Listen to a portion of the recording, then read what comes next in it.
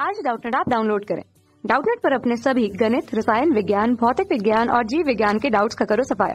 बस प्रश्न की फ़ोटो खींचो, एक ही प्रश्न को क्रॉप करो और तुरंत वीडियो सोल्यूशन पाओ। अभी डाउनलोड करें।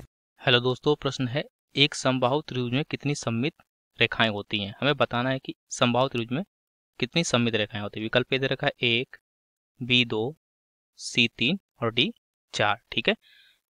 तो हमें यहाँ पे दो मतलब समझने पड़ेंगे, एक समबाहु त्रिभुज और दूसरा, सम्मित रेखाएँ किसे कहते हैं? तो सबसे पहले समबाहु त्रिभुज देखते हैं क्या होता है।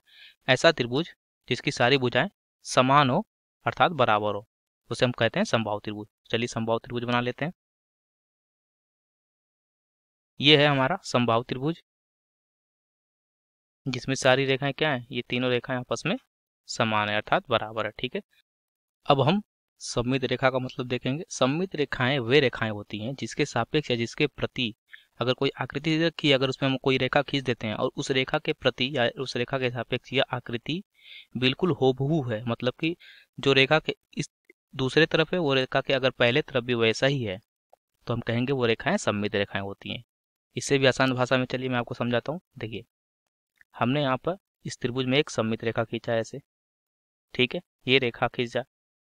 अगर इस रेखा के सापेक्ष हम इस चित्र को एक कागज़ पे बना के और इस कागज़ को मोड़े इस रेखा के सापेक्ष, अगर ये इधर वाला जो आकृति है, इस तरफ़ वाले आकृति को पूरी तरह से ढक लेगा तो हम क्या कहेंगे? ये रेखा एक सम्मित रेखा है, ठीक है? तो देखिए, अगर हम इसको ऐसे मोड़े इस रेखा के सापेक्ष तो ये क्या होगा? इसको पूरा पूरा ढक लेगा तो क्या कहेंगे? ये रेखा एक सम्मित रेखा है तो लिख लेते हैं हम, सम्मित रेखा और इसको एक मान लेते हैं ठीक है? वैसे ही एक रेखा और हम यहाँ से खींचेंगे।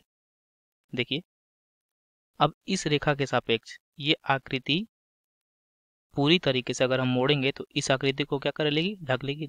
देखिए अगर इस रेखा के सापेक्ष इसको हम मोड़ते हैं तो ये इधर वाली आकृति पूरी तरीके से इधर वाली आकृति पर चली जाएगी।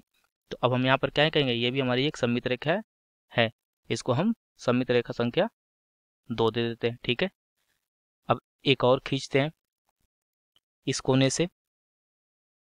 देखिए, अब इस रेखा के सापेक्ष अगर हम मोड़ें तो हमारी ये जो इधर वाली आकृति है, यानी कि ये हरे रंग से देखिए हमने कर रखा है, इसको अगर इस काले रेखा के सापेक्ष मोड़ेंगे तो क्या इस वाले रेखा पर पूरी तरीके से चली जाएगी? बिल्कुल चली जाएगी। तो हम क्या कहेंगे?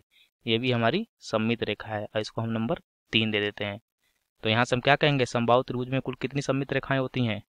तीन होती हैं, ठीक है? तो चलिए लिख लेते हैं।